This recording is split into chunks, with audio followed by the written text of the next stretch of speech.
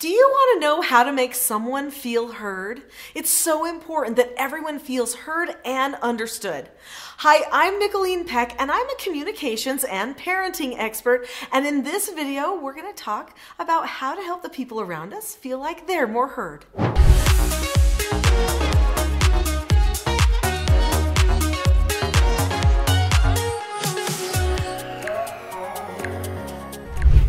Video, I'm going to share with you five things that you can do to help other people feel more heard. And if you stay all the way to the end, I've got a special bonus tip for you that you're not going to want to miss.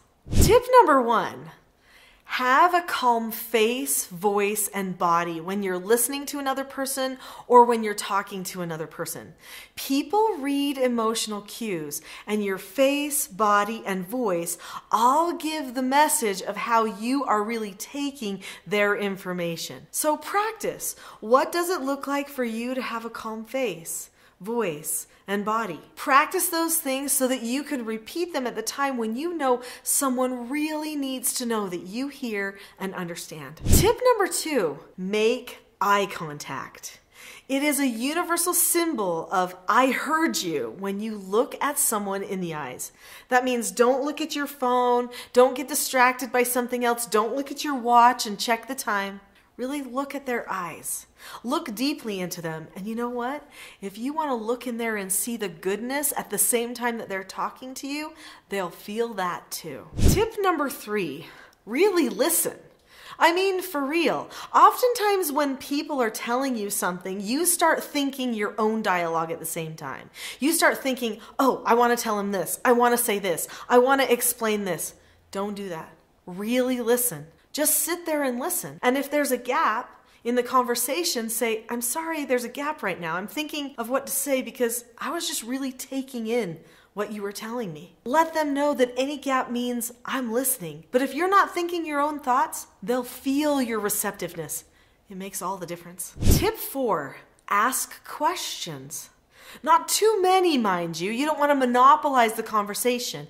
If someone is going to feel heard, they need to be able to do as much talking as they need to do. I know this can be hard, especially if someone happens to be a pretty long talker. But if they need it, they need it. You love them. You care about them. You're there for them.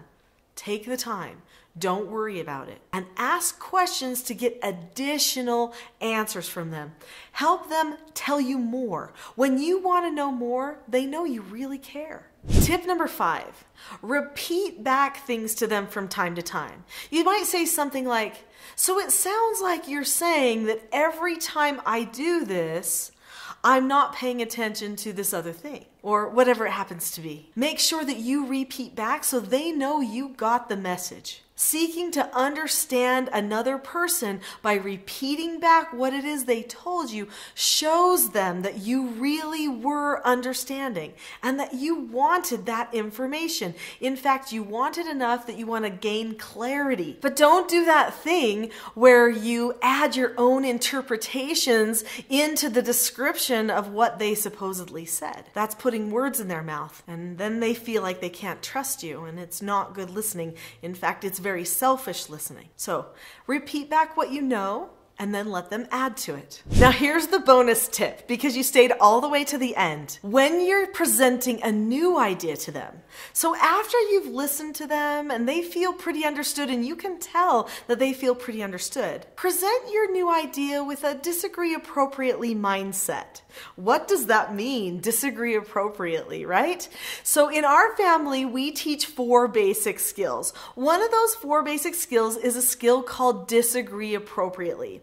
The principle behind this skill is seek to understand, then to be understood. So if you're going to present an idea or a suggestion, try to lead them in some way after they've been really open with you, then what you want to do is seek to understand, then to be understood. So you look at them, you keep a calm face, voice, and body, and then you say that you understand their point of view. You share your point of view and listen to what they have to say. Let them make their decision say okay and then stop talking about it. That's how you present an idea with a disagree appropriately mindset. So it might sound something like this. It sounds to me like the way we've been handling our morning routine just really is not working for you. What I think we might want to do is schedule a time where we can go over alternative ways to run our morning routine so that it works better for everyone.